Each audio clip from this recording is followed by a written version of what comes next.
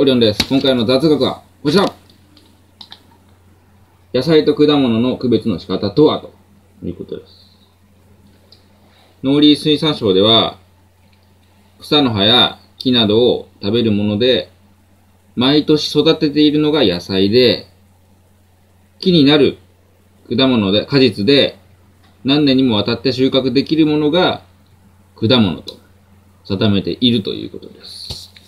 例えば、メロンやスイカやイチゴは野菜ということになりますが、野菜というには収まりが悪いということで、えー果物的野菜として区別していると。また、市場などの区別では、料理しているものが